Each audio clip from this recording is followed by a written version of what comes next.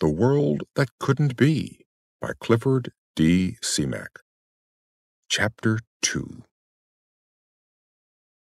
Duncan got his first shot late in the afternoon of that first day. In the middle of the morning, two hours after they had left the farm, they had flushed the Cytha out of its bed in a thick ravine, but there had been no chance for a shot. Duncan saw no more than a huge black blur fade into the bush. Through the bake oven afternoon they had followed its trail, Separ tracking and Duncan bringing up the rear, scanning every piece of cover with the sun hot rifle always held at ready. Once they had been held up for fifteen minutes while a massive Donovan tramp tramped back and forth screaming trying to work up its courage for attack. But after a quarter hour of showing off, it decided to behave itself and went off at a shuffling gallop. Duncan watched it go with a lot of thankfulness. It could soak up a lot of lead, and for all its awkwardness, it was handy with its feet once it set itself in motion. Donovans had killed a lot of men in the twenty years since Earthmen had come to Lanyard. With the beast gone, Duncan looked around for Separ. He found it fast asleep beneath a hula shrub. He kicked the native awake with something less than gentleness, and they went on again. The bush swarmed with other animals, but they had no trouble with them. Separ, despite its initial reluctance, had worked well at the trailing. A misplaced bunch of grass, a twig bent to one side, a displaced stone, the faintest pugmark were Separ's stock in trade. It worked like a lithe, well trained hound. This bush country was its special province. Here it was at home. With the sun dropping toward the west, they had climbed a long, steep hill, and as they neared the top of it, Duncan hissed at Separ. The native looked back over its shoulder in surprise. Duncan made notions for it to stop tracking. The native crouched, and as Duncan went past it, he saw that a look of agony was twisting its face. And in the look of agony he thought he saw as well a touch of pleading and a trace of hatred. It's scared, just like the rest of them, Duncan told himself. But what the native thought or felt had no significance. What counted was the beast ahead. Duncan went the last few yards on his belly, pushing the gun ahead of him, the binoculars bumping on his back. Swift, vicious insects ran out of the grass and swarmed over his hands and arms, and one got on his face and bit him. He made it to the hilltop and lay there looking at the sweep of land beyond. It was more of the same, more of the blistering, dusty slogging, more of thorn and tangled ravine and awful emptiness. He lay motionless, watching for a hint of motion, for the fitful shadow, for any wrongness in the terrain that might be the Cytha. But there was nothing. The land lay quiet under the declining sun. Far on the horizon, a herd of some sort of animals was grazing, but there was nothing else. Then he saw the motion. Just a flicker on the knoll ahead, about halfway up. He laid the rifle carefully on the ground and hitched the binoculars around. He raised them to his eyes and moved them slowly back and forth. The animal was there where he had seen the motion. It was resting, looking back along the way that it had come, watching for the first sign of its trailers. Duncan tried to make out the size and shape, but it blended with the grass and the dun soil, and he could not be sure exactly what it looked like. He let the glasses down, and now that he had located it, he could distinguish its outline with the naked eye. His hand reached out and slid the rifle to him, he fitted it to his shoulder and wriggled his body for closer contact with the ground. The crosshairs centered on the faint outline of the knoll, and then the beast stood up. It was not as large as he had thought it might be, perhaps a little larger than Earth lion size, but it was certainly no lion. It was a square set thing and black and inclined to lumpiness, and it had an awkward look about it, but there were strength and ferociousness as well. Duncan tilted the muzzle of the rifle so that the crosshairs centered on the massive neck. He drew in a breath and held it, and began the trigger squeeze. The rifle bucked hard against his shoulder, and the report hammered in his head, and the beast went down. It did not lurch or fall, it simply melted down and disappeared, hidden in the grass. Dead center, Duncan assured himself. He worked the mechanism, and the spent cartridge case flew out.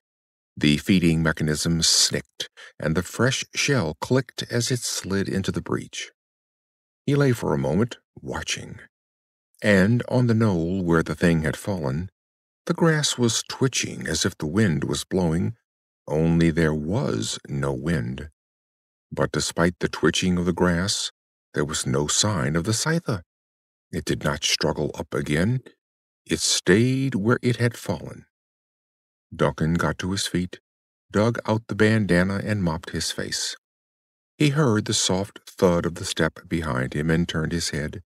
It was the tracker. It's all right, Separ, he said. You can quit worrying. I got it. We can go home now. It had been a long, hard chase, longer than he had thought it might be, but it had been successful, and that was the thing that counted. For the moment, the vua crop was safe. He tucked the bandana back into his pocket, went down the slope, and started up the knoll. He reached the place where the Cytha had fallen. There were three small gouts of torn, mangled fur and flesh lying on the ground, and there was nothing else. He spun around and jerked his rifle up. Every nerve was screamingly alert. He swung his head, searching for the slightest movement, for some shape or color that was not the shape or color of the bush or grass or ground. But there was nothing. The heat droned in the hush of afternoon. There was not a breath of moving air, but there was danger, a saw-toothed sense of danger close behind his neck. Separ, he called in a tense whisper, watch out. The native stood motionless, unheeding, its eyeballs rolling up until there was only white, while the muscles stood out along his throat like straining ropes of steel. Duncan slowly swiveled, rifle held almost at arm's length, elbows crooked a little, ready to bring the weapon into play in a fraction of a second. Nothing stirred. There was no more than emptiness the emptiness of sun and molten sky, of grass and scraggy bush, of a brown and yellow land stretching into foreverness. Step by step, Duncan covered the hillside and finally came back to the place where the native squatted on its heels and moaned, rocking back and forth, arms locked tightly across its chest, as if it tried to cradle itself in a sort of illusory comfort. The Earthman walked to the place where the Cytha had fallen and picked up, one by one, the bits of bleeding flesh. They had been mangled by his bullet. They were limp and had no shape. And it was queer, he thought. In all his years of hunting, over many planets, he had never known a bullet to rip out hunks of flesh. He dropped the bloody pieces back into the grass and wiped his hand on his thighs. He got up a little stiffly. He'd found no trail of blood leading through the grass, and surely the animal with a hole of that size would leave a trail. And as he stood there upon the hillside, with the bloody fingerprints still wet and glistening upon the fabric of his trousers, he felt the first cold touch of fear, as if the fingertips of fear might momentarily, almost casually, have trailed across his heart. He turned around and walked back to the native, reached down and shook it.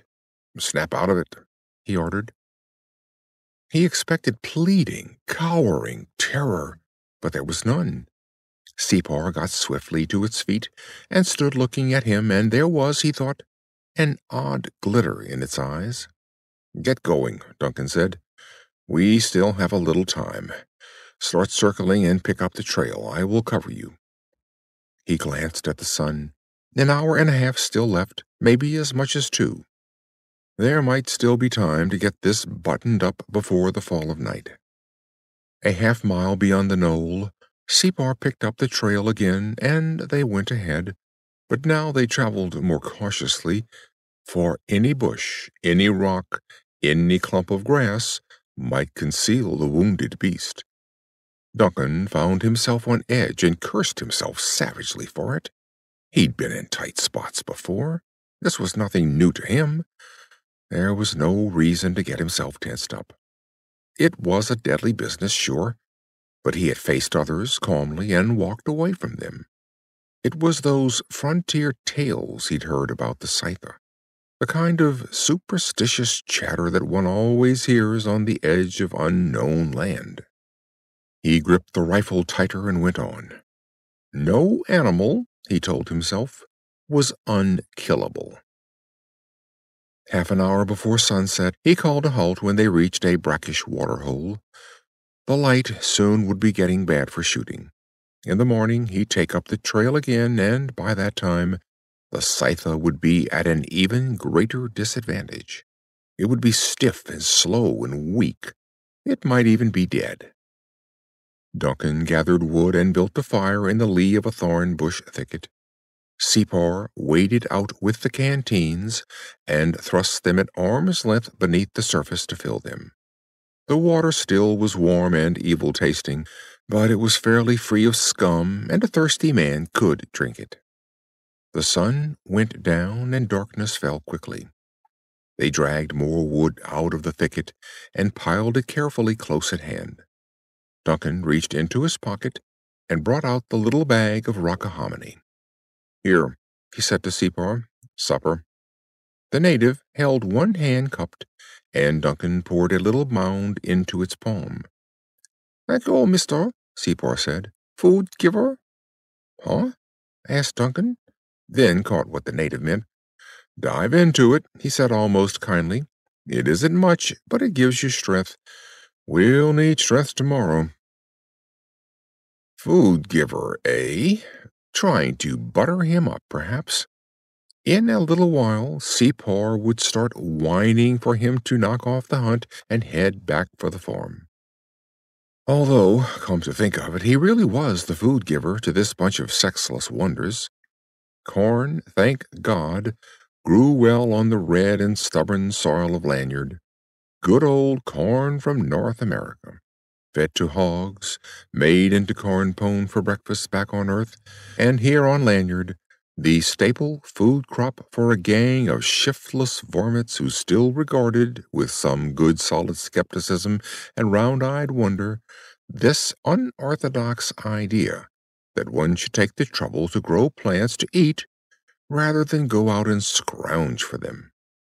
Corn from North America, he thought growing side by side with the vua of Lanyard. And that was the way it went. Something from one planet and something from another, and still something further from a third, and so was built up through the wide social confederacy of space a truly cosmic culture which in the end, in another ten thousand years or so, might spell out some way of life with more sanity and understanding than was evident today. He poured a mound of rockahominy into his own hand and put the bag back into his pocket. Separ. Yes, mister? You were not scared today when the Donovan threatened to attack us? No, mister. The Donovan would not hurt me. I see. You said the Donovan was taboo to you. Could it be that you likewise are taboo to the Donovan? Yes, mister. The Donovan and I grew up together. Oh, so that's it, said Duncan. He put a pinch of parched and powdered corn into his mouth and took a sip of brackish water.